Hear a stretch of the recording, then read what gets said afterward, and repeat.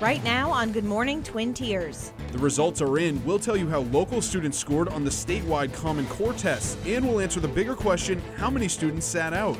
Presidential candidate Bernie Sanders is calling out Corning Incorporated for not paying their federal income taxes.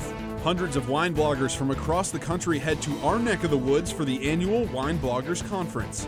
And new at 6:30, former President Jimmy Carter is battling cancer. We'll tell you how the 90-year-old is coping with the diagnosis. That and more coming up on Good Morning Twin Tiers.